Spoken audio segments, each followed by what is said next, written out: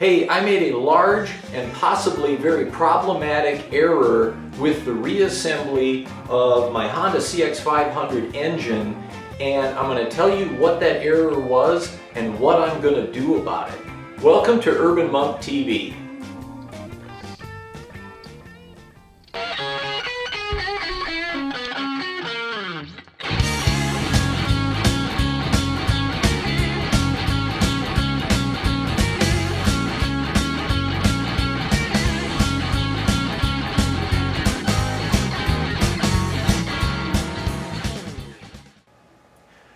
So, I'm sitting here uh, working on finishing up the thermostat and I've got a video out on testing the thermostat and I was just cleaning the engine up some and I found these two little washers sitting here in a bag next to the engine.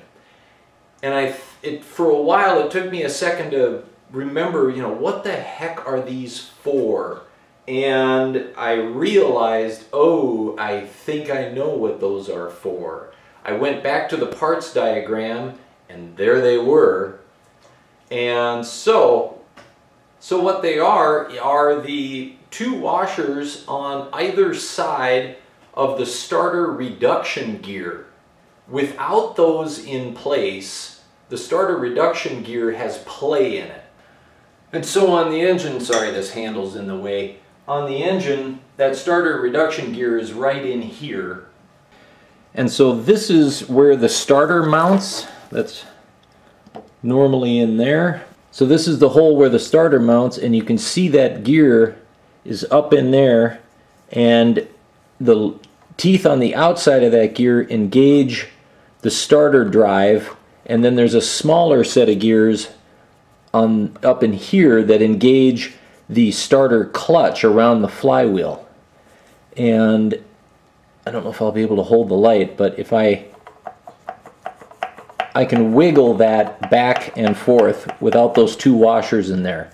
So what does that mean for me in terms of work to get those put back where they belong? Need to remove this coolant tube again, take the water pump apart, remove the impeller which then will uh, release this whole rear case. Of course, the starter's got to come out. That wasn't a big deal. But then I've got to take all of these bolts off the back again, pull the back off, put those two washers on, and put it back on.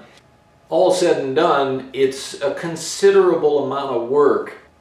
This brings up a really important point. So what's going to happen if I just leave them out of there? There's going to be wear on that part that shouldn't be there. There'll also be wear uh, to the engine casing uh, on either side of that gear over time.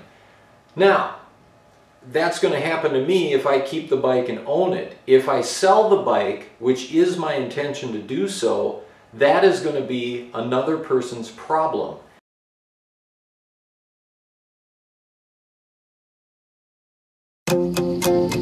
If you like motorcycles, custom builds, or just like a good story about a man's three year effort to build a tribute to his childhood teacher, get a copy of Creating Mr. Kortan. In it, you'll learn how this man changed this man for the better, how this man took this and built this, how these guys became lifelong friends and enthusiasts of motorcycling and craftsmanship and how the name Urban Monk originated. It's available from Amazon anywhere in the world that Amazon ships in both paperback and ebook, or you can purchase through a link found on urbanmonktv.com. Get your copy of Creating Mr. Kortan today.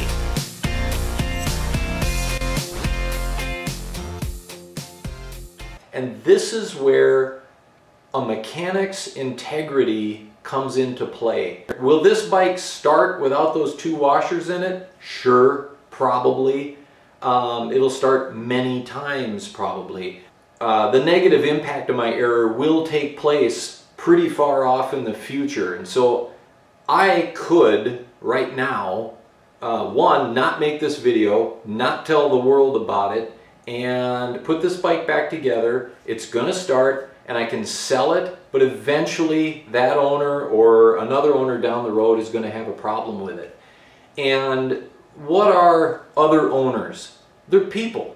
They're people just like me and you and um, you gotta, I have to take this back apart and I have to put these two washers back on that shaft where they belong. Um, it's about integrity. It's, it's about treating other people the way I would want to be treated. And when I go to buy a used motorcycle, um, I want to know that somebody's done the right thing. And yeah, we put a lot of trust in other people when we do these things because you can't see what's inside the engine. Um, you know, that's it. It's really just a video about mechanics integrity and um, I wanted to I wanted to speak about it on my channel because I think it's important. And so what could I have done to avoid this mistake? Well, one of the habits that I have typically uh, that I did not do in this case is right before I do any procedure, look at the service manual, review the instructions, and look at the parts breakout uh, because every part is clearly there. Those two washers were clearly there. Um, maybe if I had done that, I would have avoided this mistake. It's just good best practice.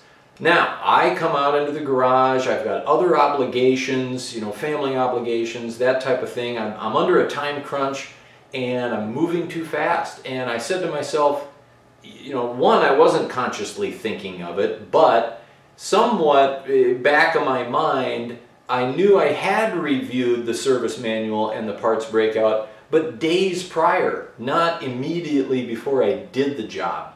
Um, you know, had I done that, maybe I wouldn't have avoided this mistake.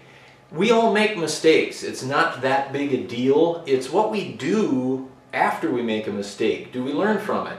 Will I be more vigilant about reviewing the service manual and that parts breakout before I do something in the future?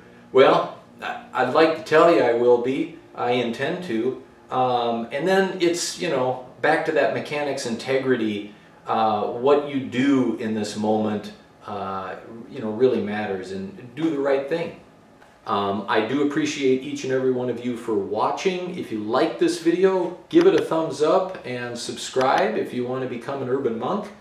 And check out my book where I talk about a lot of things related to a Honda CX500 and my GS550 build, Mr. Kortan, the Cafe Racer.